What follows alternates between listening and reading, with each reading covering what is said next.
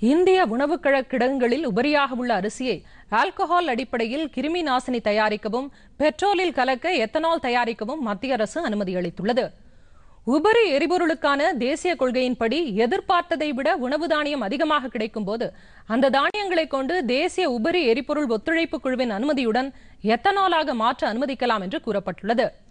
நேற்று புதுதில்லியில் மத்திய பெட்ரோலியத்துறை அமைச்சர் தர்மேந்திர பிரதான் தலைமையில் நடைபெற்ற தேசிய உயிரி எரிபொருள் ஒத்துழைப்பு குழுவின் கூட்டத்தில் இந்திய உணவுக் கழகத்திடமிருந்து உபரி அரிசியை பெற்று ஆல்கஹால் அடிப்படையில் கிருமி நாசினி தயாரிக்க முடிவு செய்யப்பட்டது.